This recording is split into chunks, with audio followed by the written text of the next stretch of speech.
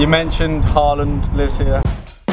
So, I've been lucky enough to visit some of the most amazing football pitches all over the world. But in the UK, this is the pitch that I use. There's lots of molehills, old goalposts, it really doesn't have too much going for it. So in this video, I'm on a mission to visit the coolest, most unique and the most interesting football pitches in the UK and really see what this country has to offer.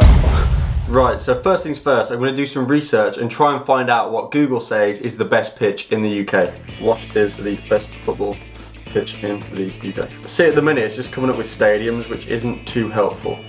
Um, yeah, this isn't very helpful. Let's try changing the word best, coolest. Once again, not really helped. Most unique football pitches, UK. No. Alright, this is going to be harder than I thought to find something. Either England has no interest in football pitches, or I'm just going to have to look a bit harder than this. Eventually, I came up with a short list. Let's go find them. Right, so I'm at the first pitch we're going to check out in this video. It's on grass. So this may look like I'm standing in the middle of an empty field, but this right here is actually the spiritual home of Sunday League football. Check it out. This is Hackney Marshes football pitches, the most iconic Sunday League venue in the world. So these might not be the most beautiful pitches in the world or the most unique, but I think it's important to mention in this video because Sunday League football culture is massive in the UK and Hackney Marshes plays a pivotal role in all of that. First thing to mention would be for a Sunday League pitch, the playing surface is actually pretty good. I have never seen so many football goals in my life. This is crazy. There must be hundreds out here. These pitches were built in 1946 following the end of World War II using rubble from the Blitz. During its peak in the 1960s there were 120 full-size football pitches side by side where over 2,500 footballers would play every weekend. Many pro players such as David Beckham, John Terry and World Cup winner Bobby Moore have played here as kids so it's seen its fair share of footballing talent over the years. And now it's seen me Nike and Adidas have also used this area for commercials, including one with the man himself, Lionel Messi, where he was actually supposed to join in with a game of Sunday League football, but it was quickly called off after he was mobbed by fans. Nowadays, there's not quite as many pitches, but it's still super impressive to look at. That's the first pitch done. A lot of history at this pitch. The next ones just get cooler and cooler. Let's check them out. I then headed to the Cruyff Courts, which are dotted around London. These offer a really nice urban pitch and are very well maintained, and most importantly, free to play on.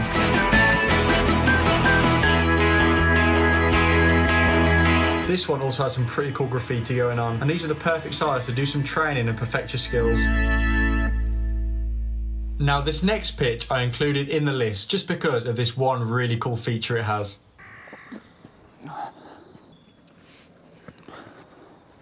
So this pitch might not look like much now, but if you pan the camera up a little bit, you can see it's got a pretty nice view.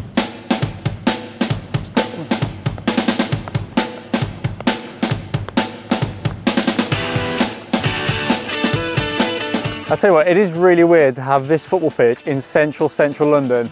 The Shard is literally just there whilst you're playing. It's pretty cool. There's not many pitches like this in the UK for sure. Crossbar.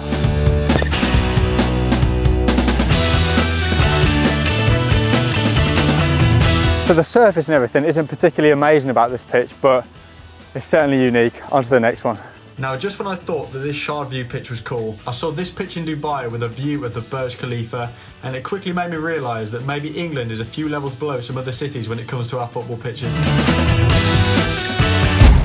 Right, so now we have the big one. There's been a lot of hype around this pitch on social media and finally I'm going to check it out but it's not going to be easy. So this pitch is located in an apartment complex in the middle of central Manchester and a lot of very very famous footballers live there so so it's very very exclusive but luckily I know someone who lives there. So I packed my bags and headed to Manchester.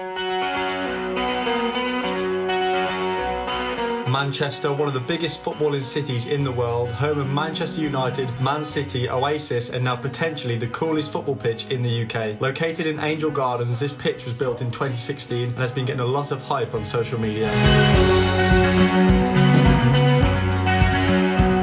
I I made my way through Manchester and met up with my friend John, who currently lives inside the building, and he showed me what the pitch looked like from the street. So the pitch is just there, as you can He took me inside the apartment complex, which was incredibly nice, and we headed up to the games pitch in a lift, which is something I've never done before to get to a football pitch. As you can see, the entrance to this pitch was certainly unique. It's like an amazing entrance to a football pitch, isn't it? Then we headed outside to the rooftop terrace.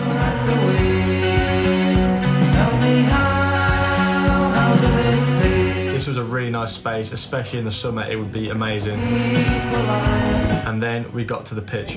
At least there's the. Boom. Wow.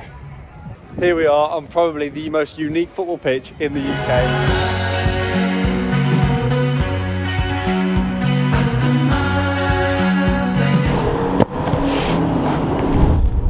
Boots on. This pitch is so sick. In the summer, they apparently have music and chairs out there. Everyone's just chilling while football's going on here. I bet in the middle of summer, this would be insane. Rooftop football. Wow. What is this?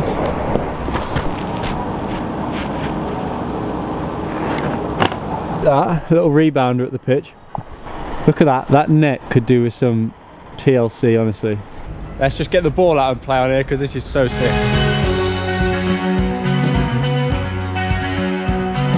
The music just adds to the vibe as well, to be fair. I feel like you're on holiday now. Yeah, in the summer, it also feels like you're in like a video game. John just described it best then. It feels like a FIFA Street location with the music on in the background. These speakers were all over the roof terrace playing cool, chilled out music. And as I said, it really feels like you were playing in FIFA Street. Such a cool vibe. Oh, for sure. So I started off by trying a few skills, but something felt off. Never done. Nice. This, is this ball weird? Was that just me? It's the one I It's use. the vertigo on the pitch. It's, like- it's the one I use. I'm getting nervous because the pitch is so high. Alright, this is better. I'm alright. Man, I actually feel like weird doing keep ups up here. Ready?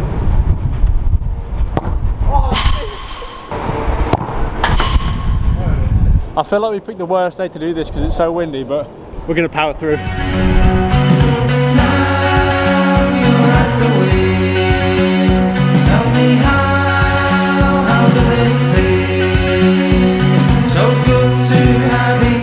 Take a moment to look at these crossbars? I've never seen a crossbar so battered in my life. Whoever plays here must hit the ball bloody hard.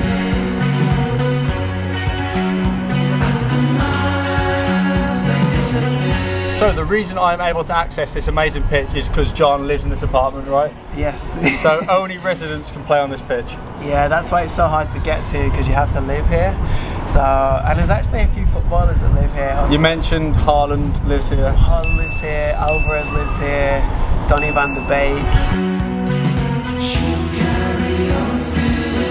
This is the best way to show off how cool this pitch is, is from the sky, so let's do it.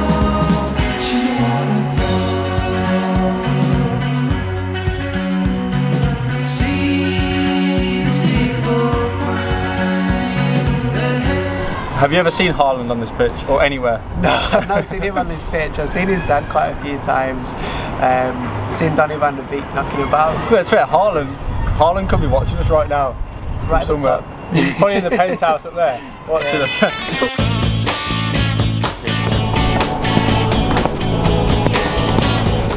Thankfully, it's got a net because if not, I mean, there'd be balls flying off here. This is insane. So yeah, not only is this pitch super unique, it's also super, super exclusive as well. It really does feel like you're in a FIFA Street game being on this pitch. It feels like a location on FIFA Street, which is really cool because I've never seen anything like this.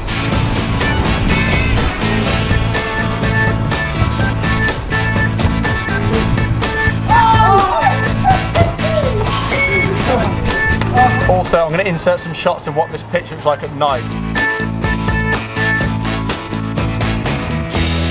Imagine this is your local five-a-side pitch. That's just fresh. You should start a league. yeah.